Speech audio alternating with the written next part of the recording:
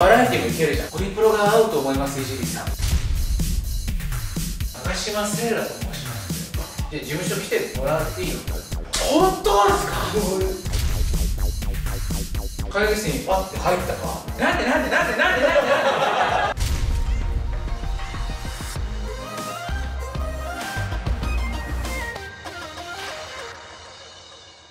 さあ今回もゲストは長島セイラさん。よろしくお願いします。なんで来ちゃったんだよ。残ってるって言うから、させてください。よ。喋らせて、喋らせて。本当にもう。人生で初めてツンデレをしたなってない。なってない。なってない。なってない。デレもなってなかった前回はね、はい。長島セーラー物語パート1でした乃木坂へ入った時の気持ちと、はい。乃木凛子の共演した時の気持ちとかね、聞きましたそして武道館での卒業宣言ね、はいはい。まで聞いて聞いてはい。一緒のロケバスに乗って連絡先を聞きましたまで話しましたね。そうです。話しました。そしてなぜホリプロへしたのかです。その前にちょっと一つだけ思い出したのあどうぞ。長嶋さんがいつからそう思ってたの？聞いたことあるのよ。はいはいではい。乃木リングでさ読売ランドでロケしたの覚えてる？あ、私があの、教師所でもらった浴衣着て。そうそうそう。で衣装なんだろそう、衣装だったんですけど、私は教師所でもらった。自前の浴衣。その時に読売ランド行った時にねはい。俺と森さんがだけど長嶋が来たのそう、で、でイーさんとか遊びに行こうとそう思って。さすがそうなの話したことは忘れちゃったけど、うん卒業って聞いた後に、うん長嶋この間も読売ランドで俺と森さんと話した時あったじゃんみたいなあの時も決断してたの卒業って言ったらはい少し考えてましたって言ったよねうん。あの時ちょっと考えてたでしょ？はい。きっかけは何だったの？きっかけまあ二十歳過ぎいろいろ考え始めた時期もありつつ、うんうん西武ドーム、うん。西武ドームがあったんですけど私前日に入院しちゃってそうだ。喉壊しちゃってで熱も出ちゃって急遽もうリハ中に病院行って当日になっても一応熱は下がったけど、うお医者さんにはちょっとみたいなこと言われてたんですけど、うん。ででもどうしても出たいってなって、私の「君の名は希望」からあの選抜。選抜曲から1から4枚目は出れずに、うん。もう5枚目から出させてもらったんですけど、うん。で最終的な決め手は、うん。その武道館ライブの1個前の多分アンダーライブのフォースシーズンかな、うん。の時に千秋楽の時にあ私もうワイド人生ここまでかもってなんか降りてきてはおおふとあ。はやめようじゃないけど次のステップ本当に自分のやりたいこともやろうと思って決断しました。はい本人としては良かったと思ったでしょ？私はもう全然後悔してないです。ね？はい。もし俺が長嶋セイラだったらここじゃやめないぞって思うと思うのうん。これからどんどん登っていくぞっていう時に途中で下車してしまうっていうね、うん。でも後悔がないって聞いたことがあって。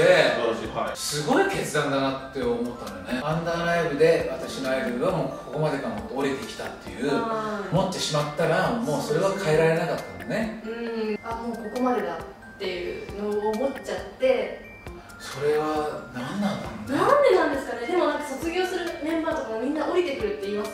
あみんな。なんかまあ私ここのタイミングかもみたいな感じででちょっとそれは面白い。メンバーが降りてくる。ん降だりてくるっていうのをかインタビューとか聞いたこととかあって事務所の方にも一回卒業したいんですって相談した時に、うん。まあもうちょっと考えてみたらっていうので、うん。考える時間もあったんですけど、うん。それでもやっぱり自分の決めた決断は変わらなかったので、うん。また数ヶ月後にでもやっぱり私気持ち変わらなかったですって言ってそれでですよ。うん。進路ですよね。はい。やめました。わかりました。うん、もうやめたらじゃあもう頑張ってねみたいな感じだったので、自分で事務所を見つけなきゃいけないからね。そうですそうです。その時にまあ別に俺も長島だったらね、うん。どっか事務所入れると思ったから、何かあったら連絡してみたいなね。そうそうですね。そうしたんだよね、はい。である時そ連絡があって、俺もその時にやり取りした時に LINE がホリプロが合うと思います石井さん。よろしくお願いしますって言われたの。あそんな言われたんですねさん自身もまあ合うと思うんだよねみたいなことも言ってくださって、えまあでもこっちもちょっとその気にもなっちゃって。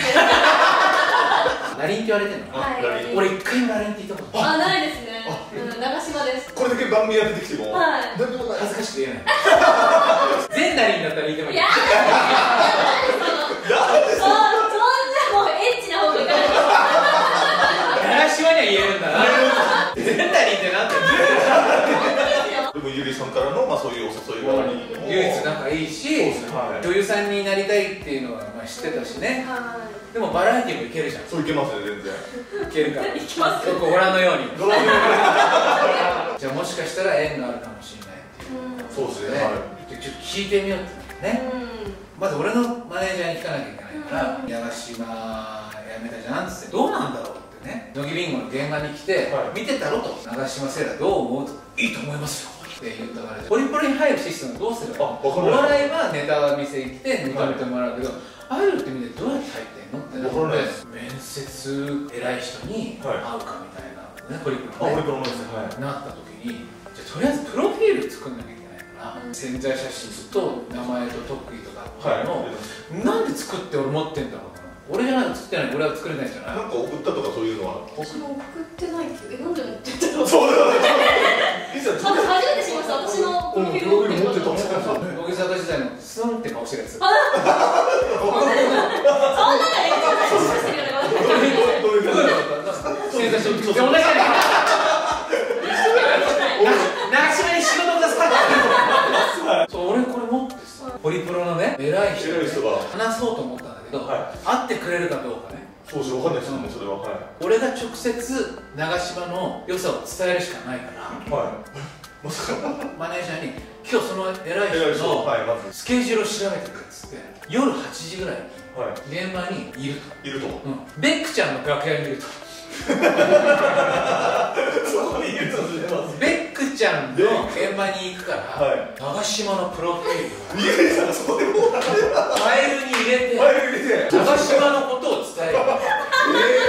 ベックちゃんの楽屋に行ってで俺すげえ緊張してるわけ。そうそれだって開けたらいると思っちゃう偉い人がは。い。あお疲れ様ですっつって。はもうどうしたの？あちょっとちょっと話がありました 聞いてますでしょうかいまずそうですねはい。ああアイドルのことって言われて何何何っつってう長島セイラと申しまして。え何？何セイラセイラセイラです。で こう見て。うん。沈黙だよ。え注目してたんですか？沈黙だよ。どんなのああの一緒にあの乃木ビンゴというまああ来られたことはあるから分かると。ああ行ったことあるし分かる。乃木ビンゴで困ったことがあれば振ればもう本当に素敵な答えを下してくれる。間違いのない。バラエティ力があると思うんです。だから最適な子だと思うし何と言ってもですよ。元乃木坂46というブランドは今ないんですよ。すごいプレゼンですそれはそう。バラエティーに対応できるそして元乃木坂46って2年ぐらい言えるんですよ。そしたら今どうですか？とね。そうですね。今「紅白」が出た。出た。もうレコ大も取ると思われますよ。それもう読んでたわけですね。ね。って言ったのはい今いるかな。ってうわもうそういう感じなんですか？そう。第一印象は？今としてはまあって言われて俺本当に推しが弱いから。俺の全て用意した、はい。プレゼンの。あのプレゼンの、は一番の武器の、はい。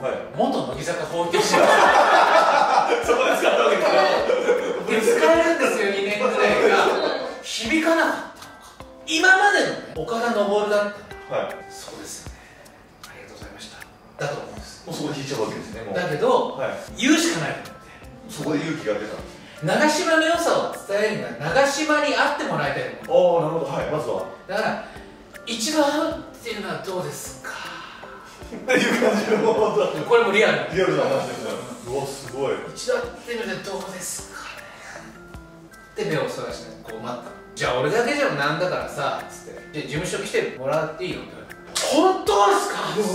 喜びますおありがとうございます。おありがとうございます。ですよねはい失礼しますすごいテンションの差でもえこれで長島にえはい会えることになったっていうメールまずそのメールか電話どっちかしてはそれだよね。うんうん。それでいざこのホリプロへということですけどもあの日はどこで集合したんだっけ？目黒駅の森場コーヒーでしたっけ？いえそんなことなんですか集合してそう。二人でミーティング。森場コーヒーで俺さ心配性だからそうめちゃくちゃまず長島と時間厳守だ例えば2時から始まるとしたら30分前に絶対に集合しようとね。長島と目黒駅の改札かなんかであのね目黒駅の改札にいじり岡田と長島聖羅が集合したんだぞ。乃木坂46やめてほやほやこれはの。まさかだうん深夜でおなじみのいじり岡田が真っ昼間で集合して森場ポリス森のポリさんはい。行ったんだ。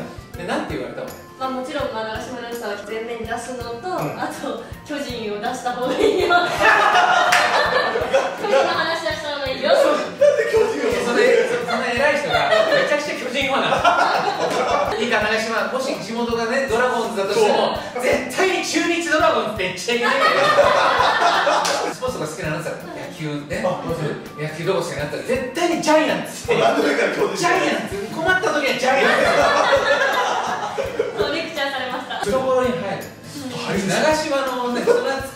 顔があれば、はい。絶対に嫌な気持ちはしないと思ってたから、はい。じゃあ長島行こうっつって多分ホリプロまで案内してじゃあいいな本当にもう保護者のように。保護者え？ヒデさん同席してないんですか？してない。うん。俺はもうそこら辺の目黒界隈を そうどう大丈夫かな大丈夫かな心配ですよね。ガラケー見ながら。どんな話かしか覚えてないでしょもうもう一個の次のね。そう次があんだよ次の方が 次の方が印象深くて。2人ともね多分緊張しすぎてはいそうなんですよね忘れちゃってんだよね、うん。一人緊張してる それで終わったみたいな連絡もらったかわかんないけど4日後にまたホリプロ行くことになりました。4日後だった？あれ4日後。でしたこれこれさこれがすごいんですかまたいやすごいってえいやもうしびれましたねえしびれる何それしびれる？しびれましたよ長島はホリプロにもう一度呼ばれたんだね。そうですね。その時はさはい。なぜか俺も一緒に来てって言われたんだね。はいそうです。なんかいじりさんも一緒あ一緒に連れてきてって。えは子供来いやみたいなこと言われて、は今度は堂々と2人でホリプロ入ってきてね、いはいはい。プロダクションのフロアに行ってさ、はい。俺としては俺も長島も一緒に来いやってことはこれはもうほぼ決まりでそうですよね。はい。うん。入れると思ったしはい。一緒に来ていい答えをもらえるのかなと思ったらさうんうん。ホリプロ入って右の方に歩いていくとはちょっとあの会議室があるんだけどいつもの通り会議室にまず岡田来てって言われたからああじゃあ俺行きましたっつってじゃあ待っててっつって会議室にパッて入ったら全マネージャーが座ってんの。いもううわもううわーって。それでその偉い方がなんか仕切ってる仕から切ってたらシーンとしてるし、は間違ったとこ来ちゃったと思ってそうですね。失礼しましたって言っちゃってたから。なんかやってるなんかやってる。なんかやってる。なんかやってるからいやいやここここに呼ばれて。えここに俺がなんでなんでなんでで。なんですごいよ。もうだだっこみたいになんでなんでなんでなんでなんでなんでちょっとおちゃらけなきゃいけないけど。なんでなんでなんで。俺違う俺違う俺違う俺違うんなにやったのに。歴代のマネージャーとか言って危ないのにあいつ誰か。やれよみたいなそうですよね。ないないない。なんですか何ですか？それ。いやじゃああのさつってね偉いから。みんな聞いてっつ。ってなんかね岡田が推薦したいね。アイドルがねいるから。はあのまあまあ今日はまあ岡田マネージャーとしてね。いはい。プレゼンするのプレゼンするらしいんだよ。ここに長島が何すればいいんだってね。プレゼン。これがプレゼンですか。ってなったら乗りますよね長島もなんか俺がプレゼンすることになっちゃったみたいな言っと思ういやびっくりするでしょそのいきなり言われてもいきなりさおーみたいな入ってさオンですオン岡田登からいじる岡田になってるさあ皆様、えーこれから私が、あーまあ推薦します元乃木坂46、えーこの間卒業しました長島聖羅という、はいえー女性を今から呼び捨てて皆さん見てあげてください長島聖羅どうぞっつって長島も緊張で、ね、うい。やい。やいやいやいや入ってきて自己紹介ねしましょうみたいな、はい。で自己紹まだ介しすいませんですって。でそっからなんか質疑応答みたいなその偉い人が「え何々はなんか質問ないの?」とかこううん。いろいろ振ったりとうかん。すごいしてきてうん。なんかもうあ私スッと入れるものだと思ったから。じいさんもう紹介もあるからスッと入れると思ったらちゃんとオーディションしてるみたいなそうだよね。飼育の方たちはどういう仕事してきたのとあ質か問はそこで。特技あるのとかなんかそういう質問してきたイメージはあると。ありますね。印象的には。はい。特技なんですか一発芸みたいなのやった気がします。え一発芸入社なの？全然違う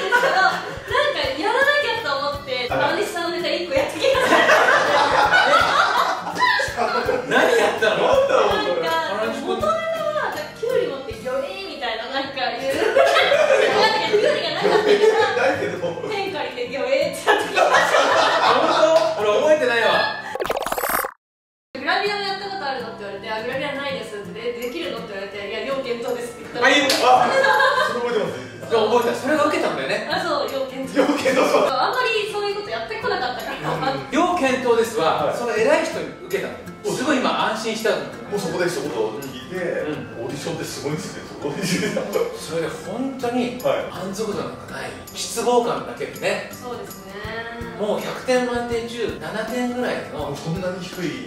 ありがとうございました。貴重な時間をみたいなね。うん2人でなうん。すごいちょっとな ごめんねすぐ来ると思ったんですよね合否みたいなうん。そしたらもうなんか2週間3週間ぐらい全然来なくて。何も返事がなくね他の仕事が終わってるからどうすればいいですかって言った時にちょうどタイミングよく石井さんから電話がか長島セイラというタレントを売りたいと思うマネージャーがいればっていうことだったから、うんうんそれで俺が確認していいんじゃないかって言われてそれでホリプロ入社になったのねそうですねでうちの班に来たんだよねはい長島がこうホリプロ入ったからにはさやっぱり仕事が気になるじゃない気になります公演君をさ自力で勝ち取ったわけよすごいっすね一年間ねギリギリですよねそれさ EQ リーグもさ楽屋に来た時に「じいさんゴーイング決まったんです」って伝えてくれた時にはい。すげえ嬉しかったの。いやいやいやそうちゃんと言わなきゃと思って。そういじりさんは本当なんか大事な時にちゃんと連絡くれる方でいじりさんそうのイジーさんも。なんか節目節目で「だいぶ天気今日卒業です」って時も「なんか見たよ」みたいな「本当お疲れ様みたいなことを連絡してくれたりとかしっかりちゃんと私の活動見ててくれて本当芸能界の父だなって。いや父。さすがですね。そんな父にさ、はベロをさ、はい。うまくなっちゃダメなんだよ。うまくなっちゃったら俺の仕事なくなっちゃうのよ。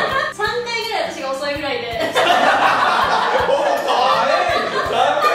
あれ何の番組でやったの？有吉そうだ。そう。スローモーションでこう。テレビで私の下の下が最適ですねあれ乃木坂46さんのファンみんなそうだと思うんですけど長島セイラのファンの皆さんって本当にねいい人なのよ。フレンドリーだし、はい。俺も応援してくれるわけめちゃめちゃいいファンの方たちですよね。そうなんだよ。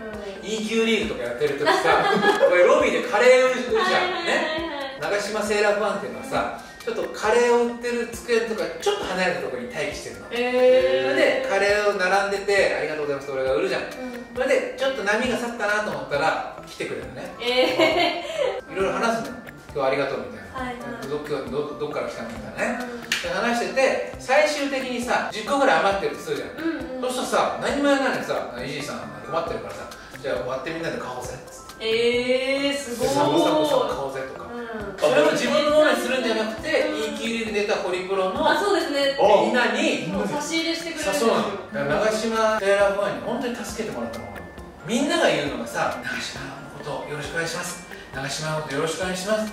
いつも振っていただいてありがとうございましたみんなが俺に言っていくんだよ。長島はほらパニックになっちゃうからロビー出れないじゃん。はいはい。ね、俺が出たらパニックにならないから。さ お互い様よって思いながらね。うんやってたから本当助かったよ。なんかお知らせすることある？はい、あ、あの SNS いろいろインスタグラム、ツイッターと LINE ブログなどやっておりますので、まあチェックとフォローの方よろしくお願いします。ね、ぜひよろしくお願いします,、はい。ますまたねこのいじりチャンネルであの乃木ビンゴ見てたファンとか乃木ビンゴ知らないけど見てみるとかっていうファンがいるから、はい、そういった人がまた見てくれると思うんで長島のことね。はい、さあということで、はい。はい。長島セーラー物語お届けしました。ありがとういや、ねこちらこそありがとうございます。はい、これからも長島セーラー応援していきますんでありがとうございます。全力で応援しましょう。頑張っていきましょうはい。はい、頑張ります。はい、ということで、長島セイラさんどうもありがとうございました。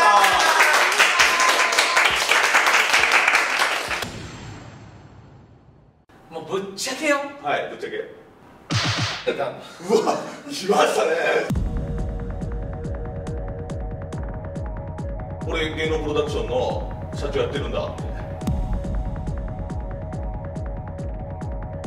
こっちにタレコミがさらに来まして実は1000万ぐらい持ち逃げされたらしいんですよで頭きたからチャンネル登録をお願いします。